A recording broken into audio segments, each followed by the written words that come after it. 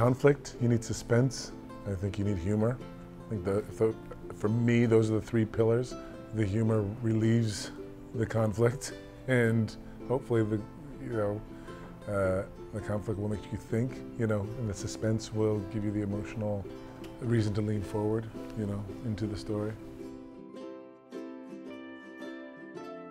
I feel like that's the kind of question you want to answer with, you know, I'm still writing it. You know, it's it's my life, and and uh, you know, I hope to keep on building on it. Uh, I think I think there's lots of little stories that I've loved to watch. Television I grew up with when you had Roseanne and Family Ties, and I was a bit of a junkie. I could even find the very special Alf, you know, if you if I was pressed.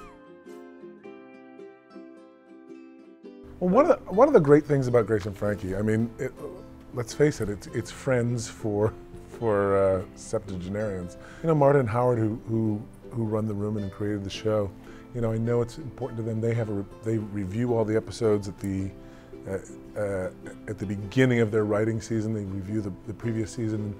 They, the question they ask is, is it satisfying? You know, what was that, was that season satisfying? I would, might be putting words in their mouth, but I think the question is really, did we move the ball? Did we, did we do what we set out to do? Did we, did our characters grow in any way? You know, um, the episode that I directed last season was a really uh, beautiful entanglement of how complicated relationships can be, you know, and to do that and still have the show be funny and resonant and meaningful is, is a little bit of a, of a high wire act. Going back to the greatest story, I, I'm, I'm always surprised by people who are so willing to have these absolutes about people being cut off and what's, you know, what they absolutely won't do, who they absolutely won't talk to anymore because, you know, your life is more complicated than that, you know. You have exes and cousins and crazy people, you know, that have been in and out of your life, and and